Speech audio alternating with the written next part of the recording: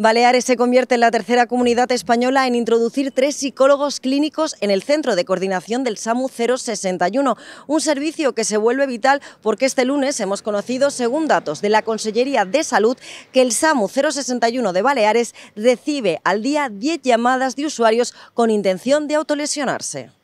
El SAMU 061 ha registrado en Baleares alrededor de 2.000 tentativas de suicidio en 2023, cifras que ha dado a conocer la consellera de Salud en su visita a la central de coordinación del SAMU 061. Actualmente se registran 10 llamadas diarias con intención de autolesión, una tendencia al alza que confirma la necesidad de la figura del psicólogo clínico del que a partir de ahora ya dispone el SAMU 061 en Baleares. Manuela García ha explicado que el principal objetivo es atender al ciudadano que sufre una emergencia desde el punto de vista global e integral y no solo asistencial sanitario. De esta manera, Baleares se convierte en la tercera autonomía de España en implantar este servicio después de Madrid y Cataluña. Un elemento muy importante también, sabéis que la mayor parte de los intentos de autolisis o de los intentos de suicidio mm, son eh, atendidos por el 061. En esta línea va a ser muy importante tanto la atención inicial,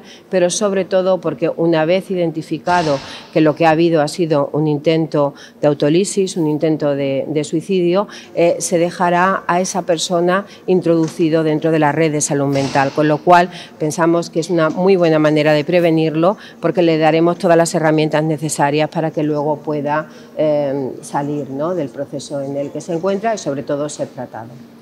El gerente del 061, Eloy Villalba, ha explicado que estos psicólogos que se incorporaron el pasado 16 de enero y que trabajan de 8 de la mañana a 8 de la tarde todos los días del año, también podrán dar apoyo y asistencia a los profesionales del SAMU 061, que soportan una carga emocional alta en su ámbito de trabajo. Además, ha detallado que en el servicio trabajan en estos momentos 950 personas.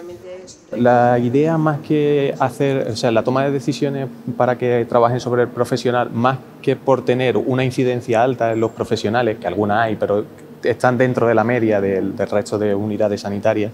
es porque en el 061, en SAMU 061 tenemos un trabajo con una carga emocional muy alta. Y era una apuesta firme porque, bueno, como bien ha dicho la consejera, de aquí se pasa de 0 a 1000 y de 1000 a 0 en cuestión de segundos. Y al final eso te lo te acaba llevando a casa. Te dice uno que es enfermero del servicio o, el director médico que es médico del servicio hace 20 años. Y, era un instrumento o es un instrumento muy muy necesario para que la calidad, principalmente para que la calidad luego de los cuidados, que no, de los cuidados y del tratamiento que queda 061 no se vea resentido en ningún caso. El SAMU 061 gestionó 700.000 llamadas telefónicas en 2023. En relación con las intervenciones, asistió a 212.000 pacientes, un 4% más que el año anterior.